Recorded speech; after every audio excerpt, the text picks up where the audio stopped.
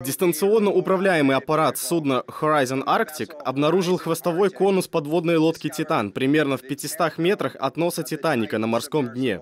Пять крупных фрагментов «Титана» были обнаружены в поле обломков, оставшихся после взрыва. О том, э, обнаружили ли человеческие останки или нет, пока не сообщается. Еще до пресс-конференции береговой охраны компания э, Ocean Jade выступила с заявлением о том, что среди пяти человек, находившихся на борту «Титана», выживших нет. Основатель и главный исполнительный директор компании Stockton Rush также был на борту и управлял батискафом.